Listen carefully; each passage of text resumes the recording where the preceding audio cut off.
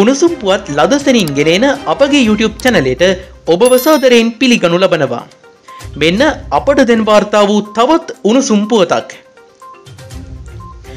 විද්‍යුත් යතුරුපෙදි හා පාපැදි බලපත් යටතේ අනයනය කිරීමට අවසර ලබා දෙමින් මුදල් අමාත්‍යවරයා ලෙස ජනාධිපති රනිල් වික්‍රමසිංහ ගැසට නිවේදනයක් නිකුත් කර තිබෙනවා. ඒ පසුගේ විසිතුන් වැනිදා ක්‍රියාත්මක වන පරිදි.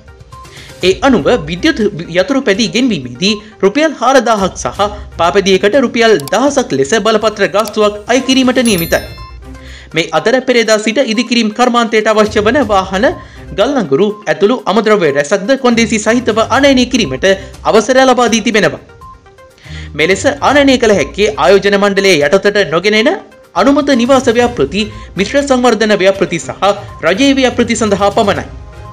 අදාළ ආනයන සිදු කිරීමේදී ව්‍යාපෘති වාර්තාවලට නිශ්චිතව දක්වා ඇති වාහනවල අමුද්‍රව්‍ය ප්‍රමාණයන් දින එකසි අසුවක අයවර ලිපි යටතේ අනයනය අපනයනය පාලක මුදල් අමාත්‍යංශයේ ලේකම් සහ මුදල් අමාත්‍යවරයාගේ අවසර ගැනීම් සිදු කළ යුතුවේ.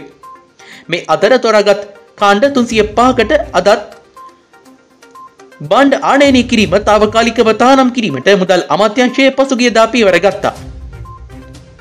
ආනයන සහ අපනයන පාලන දෙපාර්තමේන්තුවේ වෙබ් අඩවිය දැක්වෙන්නේ අදාළ තහනම ඊයේ දිනේ සිට නැවත දැනුම් දැනතුරු බල පැවැත්වෙන බවයි.